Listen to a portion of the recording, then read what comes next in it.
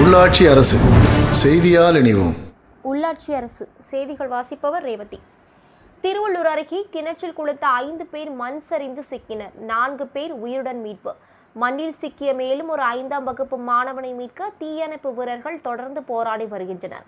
திருவள்ளூர் மாவட்டம் பிளேஸ் பாளையம் அடுத்த கெங்கல் கண்டிகையில் மண் சரிந்து கிணற்றுக்குள் விழுந்ததில் கிணற்றில் குளித்துக் கொண்டிருந்த ஐந்து பேர் மண்ணில் புதைந்து அதில் நான்கு பேரை காப்பாற்றி சிகிச்சைக்காக மருத்துவமனைக்கு அனுப்பிய நிலையில் சந்தோஷ் என்ற ஐந்தாம் வகுப்பு மாணவன் மண்ணில் சிக்கிக் கொண்டதால் அந்த பத்து வயது சிறுவனை கிணற்றில் இருந்து மீட்க தீயணைப்புத்துறை உதவியுடன் போலீசார் தீவிர முயற்சி மேற்கொண்டு வருகின்றனர்.